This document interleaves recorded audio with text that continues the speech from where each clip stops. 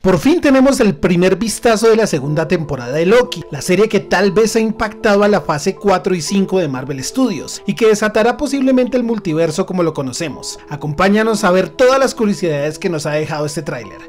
Comencemos.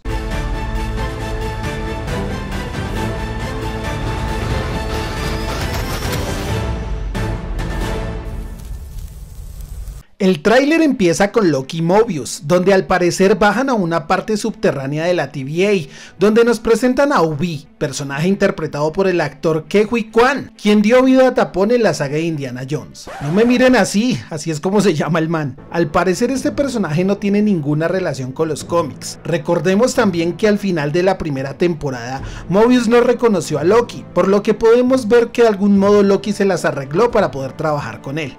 Aparentemente Obi repara las cosas de la TVA, ya que vemos que Mobius acude en su ayuda porque Loki tiene un problema, y es que al parecer se convirtió en un ser fuera del tiempo, por lo que sufre de desfase temporal, el cual al parecer va cambiando entre realidades y líneas temporales, viajando entre el pasado y el presente, donde por lo que entendemos Loki ha visto de lo que es capaz de hacer Kang el Conquistador, y que sea una pieza clave en Avengers Kang Dynasty y posiblemente en Secret Wars. Esto lo decimos porque en el tráiler vemos un mural con la representación de la batalla de los Kangs y una muy importante donde Loki dice que la guerra está en camino. Seguramente Loki ya ha visto la guerra secreta, por lo cual está tratando de evitar la destrucción de la realidad. Con la sagrada línea del tiempo rota, Loki al parecer vio las consecuencias que esto puede causar con las incursiones, y es por ello que Loki está en búsqueda de Kang para intentar detenerle. Y aquí ya vemos el primer vistazo de Kang, que es el ente regidor del espacio-tiempo, confirmándose a su vez la participación del actor Jonathan Mayors, donde creemos que no se ha realizado algún tipo de recast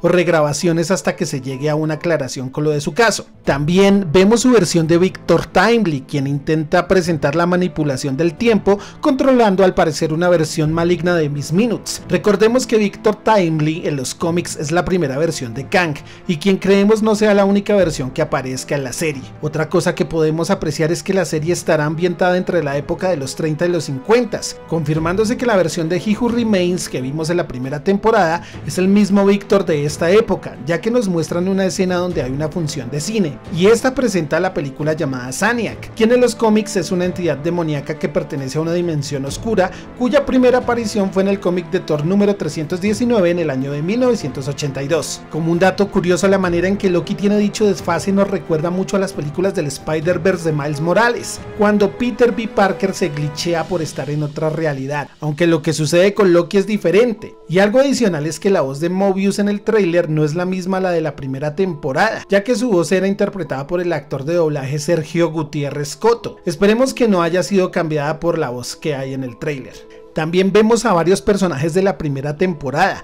como por ejemplo a Ramonda, quien está en la misma época de Victor Timely y en otras líneas temporales, al igual que B15. Y por último, pero no menos importante, tenemos el regreso de Sylvie, donde al parecer está tratando de vivir entre otras realidades alternas, trabajando en lo que posiblemente es un McDonald's, y vemos que nuevamente intenta acabar con la variante de The Kang Victor Timely. Usted no aprende, ¿verdad?